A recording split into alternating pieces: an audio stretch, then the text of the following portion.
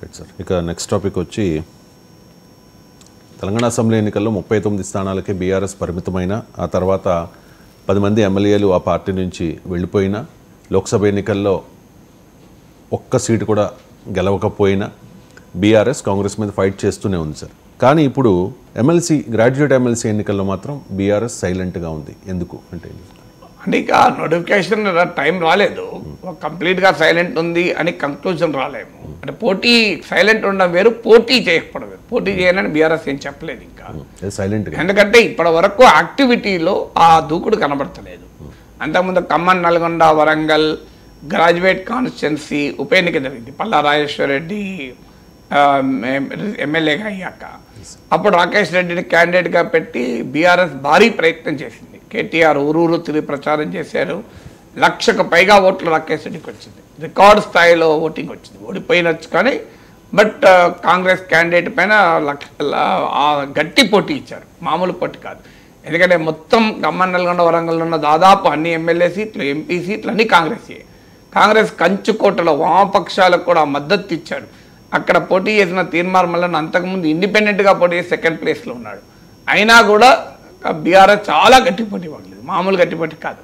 లక్ష పైగా ఓట్లు వచ్చాయి అందువల్ల ఈ అనుభవం ఉన్న నేపథ్యంలో కరీంనగర్ ఆదిలాబాదు నిజామాబాదు మెదక్ ఈ నాలుగు ఉమ్మడి జిల్లాల graduate constitution of course teacher MLC కూడా ఎన్నికలు జరుగుతున్నాయి. టీచర్ ఎమ్మెల్సీ మీకు ఖమ్మం నల్గొండ వరంగ వరంగల్ టీచర్ ఎమ్మెల్సీ ఈ ఉత్తరాంధ్ర నాలుగు జిల్లాల టీచర్ ఎమ్మెల్సీ టీచర్ ఎమ్మెల్సీలో రాజకీయ పార్టీ నేరుగా జనరల్గా పోటీంచే బీఆర్ఎస్ పార్టీ.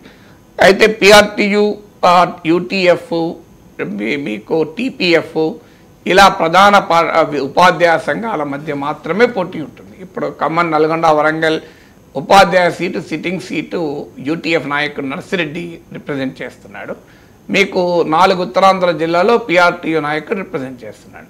సో ఈ రెండు ఉపాధ్యాయ సంఘాలు మధ్యనే సాధారణంగా పోటీ ఉంటుంది.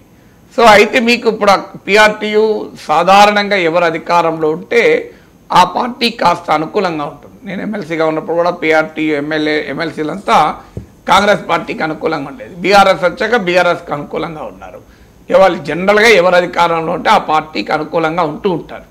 సో కొంతమంది అయితే పిఆర్టీ తరఫున గెలిచిన ఉపాధ్యాయ ఎమ్మెల్సీలు బీఆర్ఎస్లో చేరారు కూడా.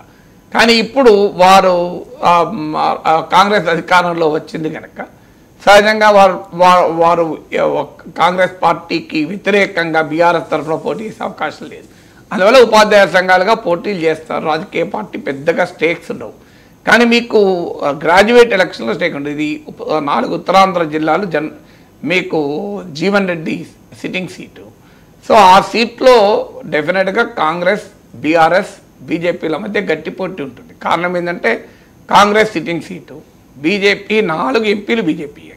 మీకు ఆదిలాబాద్ కరీంనగర్ నిజామాబాద్ మెదక్ ఈ నాలుగు ఎంపీలు బీజేపీ చేతిలో ఉన్నాయి. తర్వాత బీఆర్ఎస్ కూడా I think around fourteen MLAs ఈ ప్రాంతం నుంచి ఉన్నారు.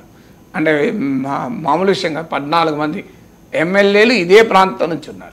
సో అందువల్ల మీకు బీజేపీకి అందరు ఎంపీలు ఉన్నారు. బీజేపీ అగ్రనాయకులైన బండి సంజయ్ ఈటల రాజేందర్ ధర్మపురి అరవింద్ ఇలా టాప్ లీడర్లంతా ఈ ఉత్తరాంధ్ర జిల్లాల నుంచే ఉన్నారు. సో మహేశ్వర్ రెడ్డి బీజేపీ శాసనసభాపక్ష నేత. సో అందరు కూడా ఇదే ఏరియా. మీకు అందుకొరకు బీజేపీకి ఇది ప్రతిష్టాత్మకం. బీఆర్ఎస్ కూడా ఉత్తరాంధ్ర జిల్లాలు ఉద్యమ కాలం నుంచి కూడా బలమైన జిల్లాలు. అందులో కేసీఆర్ సొంత జిల్లా మెదక్తో సహా ఉంది ఇందులో. సో అందువల్ల డెఫినెట్గా మీకు ఆ, మేరకు ఇది ప్రతిష్టాత్మకంగా ఉంటుంది. ఇప్పుడు ఇదే జిల్లాలోనే కేటీఆర్ అసెంబ్లీ సెగ్మెంట్ ఉంది ఇదే జిల్లాలోనే కేసీఆర్ అసెంబ్లీ సెగ్మెంట్ ఉంది ఇదే జిల్లాలోనే హరీష్ రావు అసెంబ్లీ సెగ్మెంట్ ఉంది.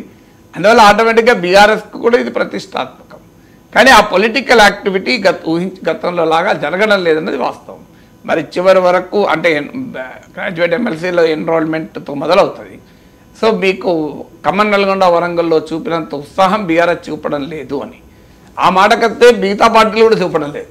అది కూడా ఒక రీజన్ అంత ఉత్సాహంగా యాక్టివిటీ నడవలేదు దానికి కారణాలు అనేకం ఉండొచ్చు. బట్ డెఫినెట్గా బీఆర్ఎస్ పోటీ చేస్తుంది అనుకున్నా. పోటీకి దూరం ఉంటుందని అనుకోను.